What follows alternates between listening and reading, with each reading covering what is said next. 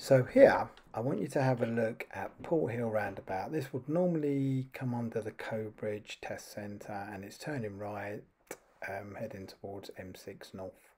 So on this first one, this is where a pupil got it slightly wrong and we're going to see what issues this could cause you. So we're going right, so this great, this bit perfect, we're in the right lane. But like many do, because of the road markings are not good, can you see our position? It stays more to the inside to the right. So what happens now is this leaves the left and the outer left one open. So now potentially vehicles could go right cutting on that left. It makes like the right van more likely that vehicles pull out in front of you. And here you've got to get over into this lane.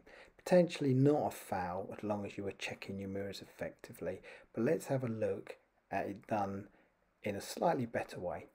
Uh, it's really just here to make your life easier, make the road safer. So here again, we're going right. But this time, our position just sticks near the ghost white line. Can you see it? So now we're in the middle lane. So now we've only got one lane to the left.